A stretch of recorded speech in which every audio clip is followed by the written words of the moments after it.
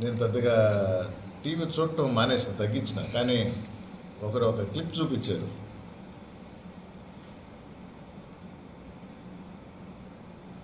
ఆనం వెంకటరమణారెడ్డి మీద దాడి కోసం అని చెప్పి కుర్రాళ్ళు ఎవరు ముసుగులు కట్టుకొని పోవటం. మరుక్షణంలోనే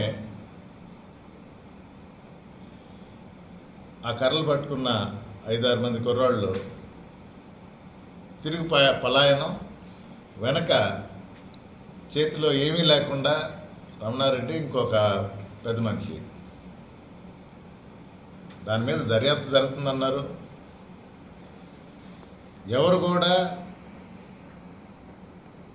రాజకీయ వైరుధ్యాలు ఉన్నప్పుడు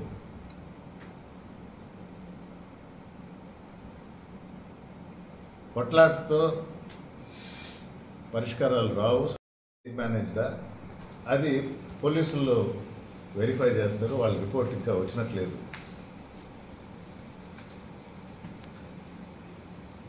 కానీ మన రామనారాయణ రెడ్డి గారు వెంటనే పరిగెత్తుకొని పోయారు.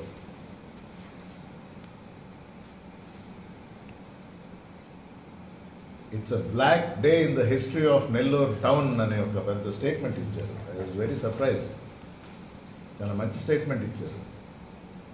It's a black day in the history of Nellore town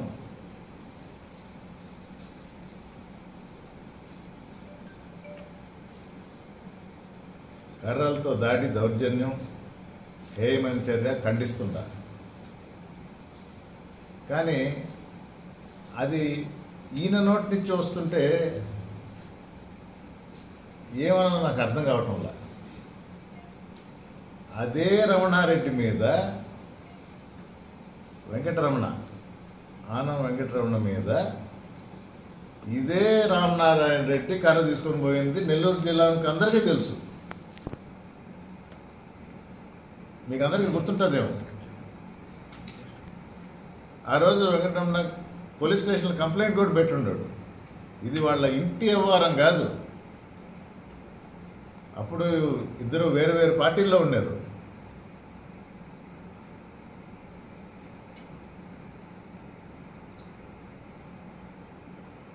దానికి ఆయన ఏం జవాబు చెప్తాడో నాకు చాలా ఆతృతతో ఉంటా.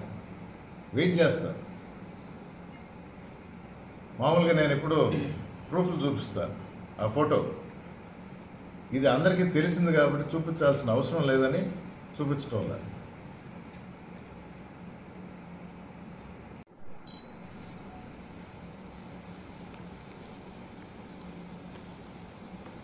యువగళనా దాని పేరు. యువగళం యాత్రకి భారీగా సమీకరణ చేస్తా ఉన్నాడు రామనారాయణ రెడ్డి గారు.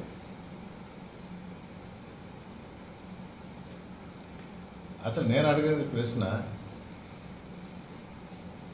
తెలుగుదేశంలో చేరాడా? కానీ ఆయన ఇష్టం చేయొచ్చు.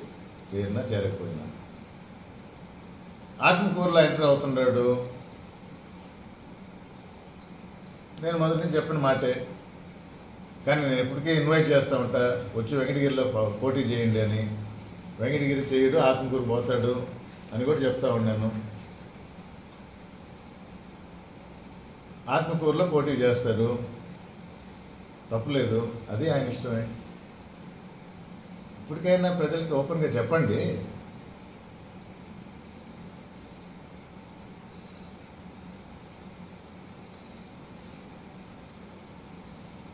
యువగళానికి ప్రజలందరికీ పిలుపు. నెల్లూరు జిల్లాలో కొన్ని మార్పులు రాబోతా ఉన్నాయి. ఏ మార్పులు వస్తాయి? ఏ మార్పులు వస్తాయి? సస్పెండ్ అయిన ముగ్గురు ఎమ్మెల్యేలని పార్టీ తెలుగుదేశం పార్టీ తీసుకుంటుంది. ఇది వరకు రాజ్యాంగబద్ధంగా ఎన్నికైన ఎమ్మెల్యేని కొనుగోలు చేసిన ఈ తెలుగుదేశం పార్టీ ఇప్పుడు పార్టీకి వ్యతిరేక చర్యలు చేస్తున్న ముగ్గురు ఎమ్మెల్యేని సస్పెండ్ చేస్తే ఆ ముగ్గురు ఎమ్మెల్యేలు తీసుకుంటుంది. తీసుకోవచ్చు.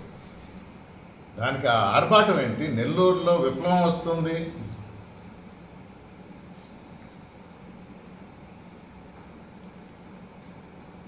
నెల్లూరు నుంచే పునాదులు కలిగి కదిలిపోతున్నాయి. రెడ్లందరూ మాతోనే ఉండారు.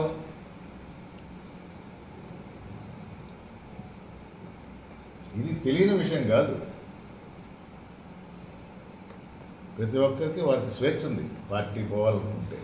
సస్పెండ్ అయ్యారు కాబట్టి మేము ఇండిపెండెంట్ ఎమ్మెల్యేలుగా పోతున్నాం. వారికి స్వేచ్ఛ ఉంది.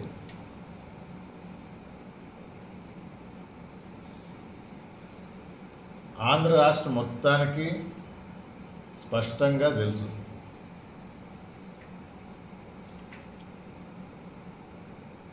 ప్రజలు జగన్మోహన్ రెడ్డి వెంటే ఉన్నారు.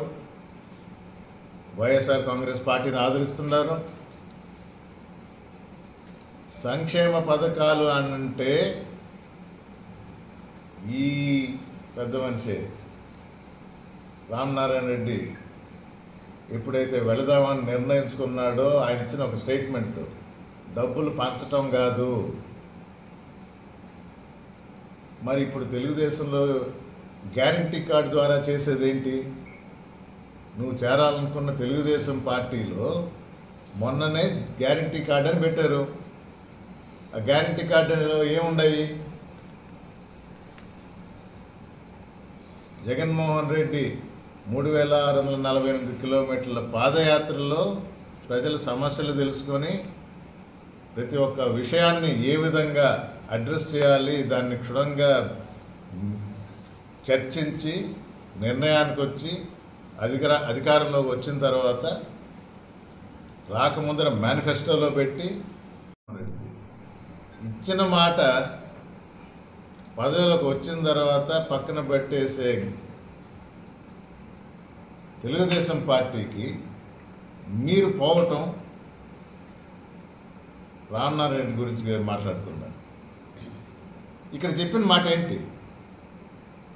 ఈ విధంగా పంచడం అభివృద్ధి కాదు. మరి అక్కడ అనౌన్స్ చేసింది అదే వాళ్ళు. అనౌన్స్ చేసిన తర్వాత ఇప్పుడు మీరు కలిశారు చంద్రబాబు నాయుడు గారిని. చేరిన తర్వాత కాదు. అనౌన్స్మెంట్ వాళ్ళు అనౌన్స్ చేసిన తర్వాత ఇప్పుడు పోయి కలిశారు. మళ్ళీ అదొక గొప్ప విషయం. పార్టీకి పనిచేస్తారంట కార్యాలయంలో చంద్రబాబు నాయుడు గారి దగ్గర కండువా కప్పుకుంటారంట. అంటే లోకేష్ గారు చిన్నపిల్లోడు ఆయన దగ్గర కప్పుకో మేము సీనియర్స్. సరే ఇదంతా ఎందుకు చేస్తున్నారు అంటే నెల్లూరు జిల్లా వాసులకైతే చాలా స్పష్టంగా తెలుసు. ఎందుకు చేస్తున్నారు ఇదంతా? మంత్రి పదవి ఇవ్వలేదని. మరి తెలుగుదేశంలో మంత్రి పదవి కన్ఫర్మ్ చేశారా?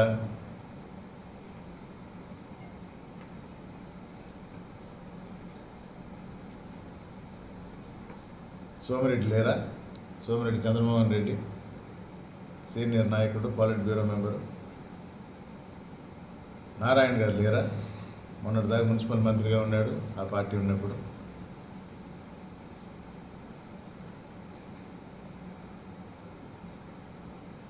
అసలు తెలుగుదేశం పార్టీయే ప్రభుత్వం ఫామ్ చేయలేని పరిస్థితుల్లో రేపు ఎలక్షన్స్లో మెజారిటీ రాదు. తిరిగి వైఎస్ఆర్ కాంగ్రెస్ పార్టీయే వస్తుంది. వైఎస్ఆర్ కాంగ్రెస్ పార్టీ ప్రభుత్వం స్థాపించబోతుంది. ఈ తరుణంలో మాకైతే క్లారిటీ ఉంది. ప్రభుత్వమే ఫామ్ చేసేది మేమైనప్పుడు.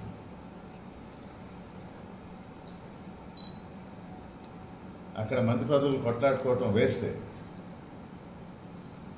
ఆయన ఎందుకు పోవాలన్నాడు కూడా నాకు అర్థం కాకుండా. అంటే ఏం మాట్లాడుతున్నాడు?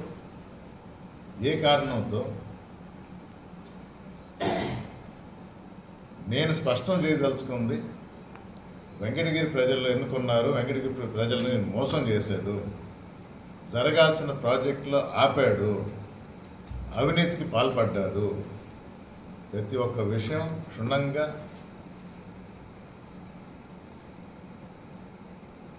మా ప్రజలకు తెలియజేస్తాను.